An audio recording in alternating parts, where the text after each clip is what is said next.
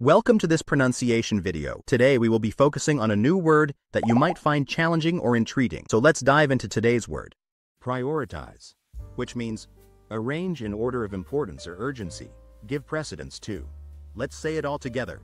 Prioritize. Prioritize. Prioritize. One more time. Prioritize. Prioritize. Prioritize. Thank you for joining us on this adventure in pronunciation. Remember, language is a journey, not a destination. Keep exploring, experimenting, and expanding your linguistic horizons. We'll see you next time.